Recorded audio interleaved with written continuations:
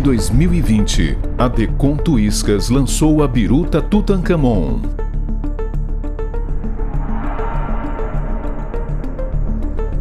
Baseada na icônica máscara de ouro do faraó Tutankhamon, esta isca foi um enorme sucesso entre pescadores e colecionadores.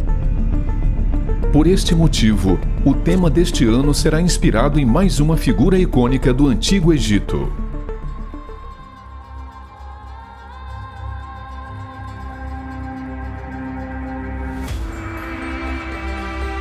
Nefertiti. A mais bela chegou. Este é o significado do seu nome. Foi uma famosa rainha da 18ª dinastia, ao lado do faraó Akhenaton.